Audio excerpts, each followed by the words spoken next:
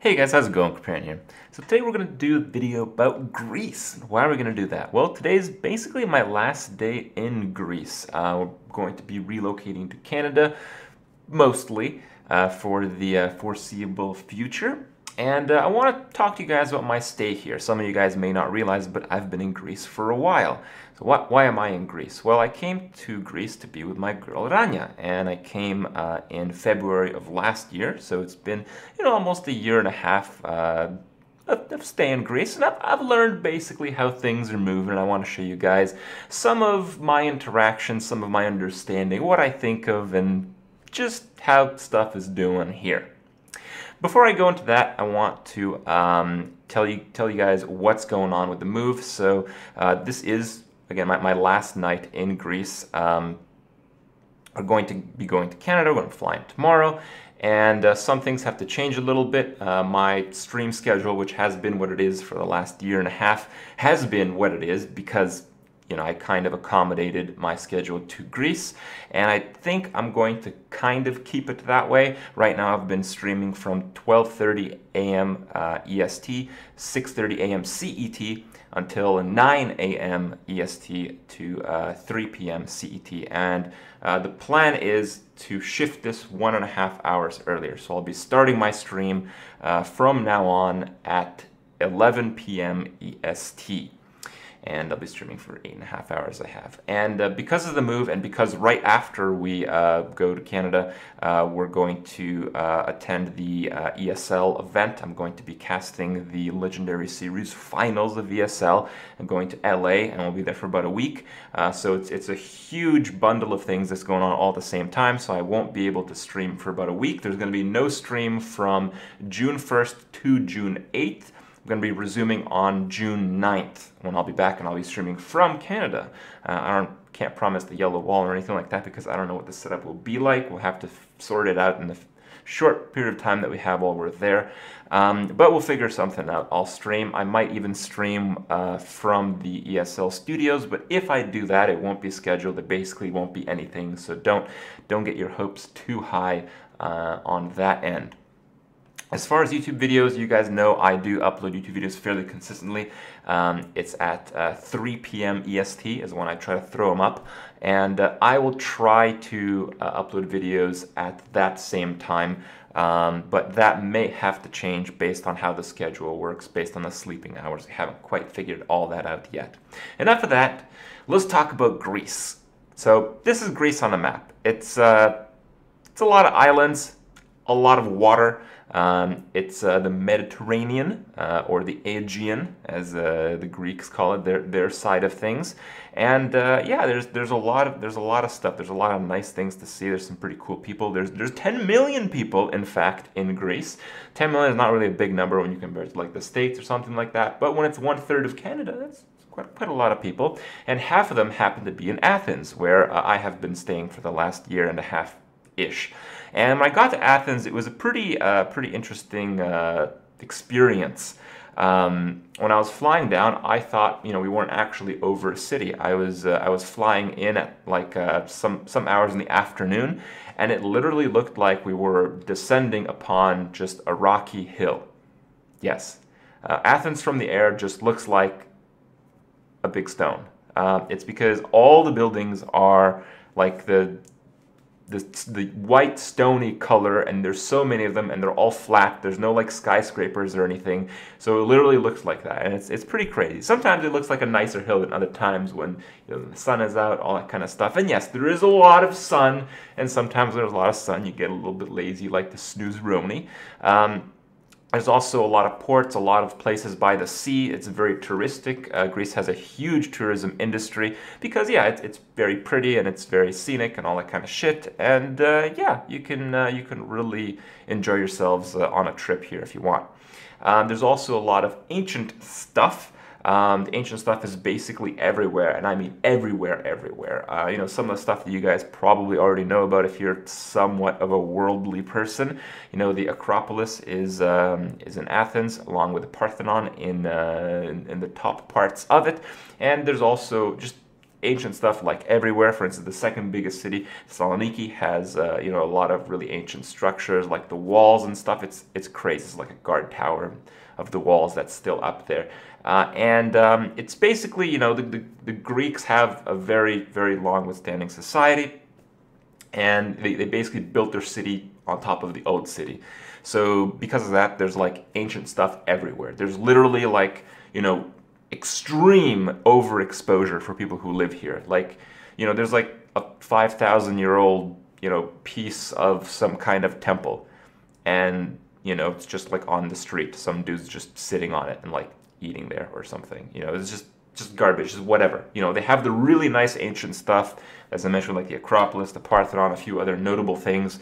But there's just like ancient stuff everywhere, and people don't give a crap. So, you know, uh, my girl told me when she went to visit like other museums and stuff of other countries, it's like a complete joke because, you know, a lot of other countries really represent what they have, you know, 500 year old you know rocks and stuff. And it's like you know they basically paved the streets with those here. So yeah they they're extremely overexposed to this stuff. And uh, yeah cities on top of cities. And this this has a little bit of a downside because of that. All the roads are like really narrow uh, and you know with half the population being half the population of Greece being in Athens there's a shitload of people here. And with a shitload of people in very small spaces it's a pain in the ass to get around uh, and actually everyone tries to like almost everyone has like a car or a motor. There's a lot of motorcycles here, mostly in the summer times, of course. But the streets are ridiculous. Like, uh, I got a bike here. I tried a bike here. It's impossible. Like, it's it's ridiculously dangerous. Drivers here are really good. Like, if you think if you think you can drive in in like the states or something, and you you go to Greece and you gotta just drive there, no chance, no chance. People here are fucking animals on on the roads, dude. You have you have no idea. You've never seen like driving like this. Everyone is a pro and uh, there's there's a lot of insane pros out there. Um, so yeah, it's it's ridiculous. The streets are extremely tight. The cars are extremely small, and it's still tight for them. Um, and the roads, because they're built on top of like old shit, they're very sloped, they're very narrow, they're very crooked and stuff. So yeah, it's very pretty when you look at it, but when you actually try to use here, uh, use this stuff, when you know people who actually live here, they're not too happy with the road and driving situation overall. Uh, the more remote areas of Greece outside the, the, two big cities, outside of Athens, outside of Thessaloniki, there's also some very nice stuff. Uh, most of the areas are rocky and stuff, but they still grow things uh, because you know it is a very hot climate. And uh, in some areas, it actually has very cold climates. Like there's actually snow in Greece, which is pretty crazy. Uh, as uh, you know, it's it's mostly because of the high elevations of some areas. So uh, some parts of Greece are much higher than others, and the way that works is well, if you like the air works off a density. So the lower you are, the denser the air, and the denser the air, the hotter the air. So at high elevations, there's not much air, and because of that, the air particles don't bump into each other and it's cold. I'm pretty sure it works that way. It's been a while. But yeah, high up, cold. So Greece has high parts, cold there, low parts, hot there. So it's uh, it's pretty varied. You can uh, you can find find your nice temperature if you want, I suppose. Uh, people overall here, uh, they're pretty nice. They're very outgoing. It's very easy to like, you know, ask for advice, ask for directions. You know, the the sociability is is one that I haven't seen uh, in another country quite this this degree. People are just, uh, you know, very easy to talk to one another, and uh, yeah, that's that's pretty amazing coming from like Canada because in Canada, uh, one thing is you know everyone's nice and shit, but you know they people just keep to themselves, like really, really keep to themselves. So that's that's very different here. And uh, people here, obviously, because of the uh, geography, uh, they have a very strong connection to the sea. A lot of people like fishing and stuff, and there's a lot, lot of like wildlife and stuff. Like like there's turtles everywhere. I like I don't go outside much. You know, for me, staying in Greece is basically the same as staying anywhere because I just sit inside and stay at the computer every hour of every day, except for like, you know, when I have to do something and go outside, which is very rare. Um, but when I do, and when I have, I've actually come across like several turtles, even though I don't go outside at all. You know, so there's there's quite a bit of uh, fun little animals here and there, and it's it's it's kind of kind of fun to run into them every now and then. Uh, and of course, because it's by the sea, because people interact with the sea, because it's that kind of culture. They eat a lot of things from the sea. So a lot of people like to eat seafood, and the food here is pretty amazing.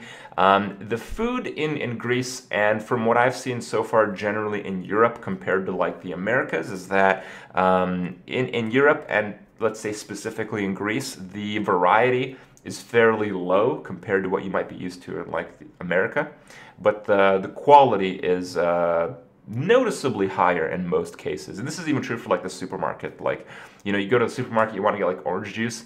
They don't have much orange juice, and it's you know some of the stuff is still really bad, but uh, some of the stuff is like really good, and it seems to be that way for just you know all the little things that you uh, you may need. And out of stuff that I eat, you know, there's, there's a lot of veggies here as well. Uh, you know, there's a lot of vegetables involved in uh, the recipes and stuff that they make. And it, again, it's easy to grow because it's a nice hot climate and there's basically a lot of stuff. Um, out of the things that I like to eat, like what, while I've been here, this, this is like the best of the best. Okay, so uh, you got you got the strawberry sorbet. Like this, this is the Greece has the best vegan ice cream I've ever had and, and, it's not just like one place. It's like almost anywhere you go.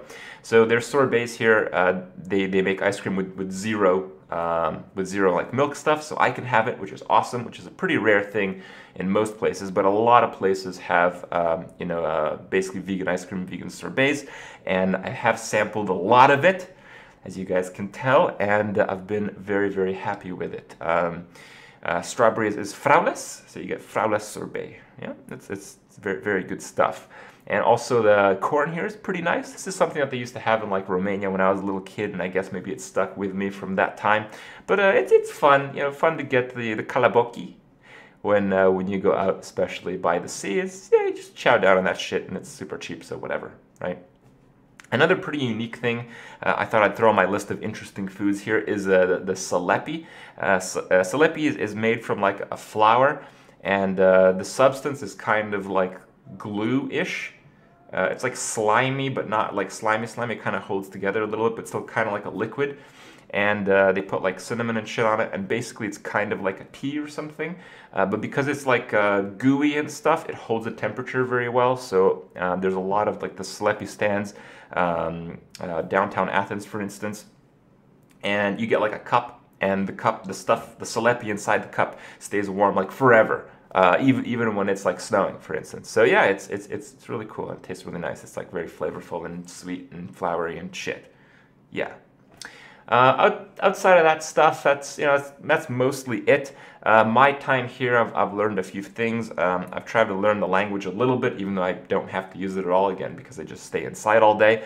Um, it's it's important to learn a few things because you do need to communicate on a very basic level. And I can throw you guys some some Kripp tips here on what you should be learning uh, when you go to a new country. It's important to know uh, numbers uh, and you know, if you want to min-max, you don't actually have to uh, learn numbers over like 10.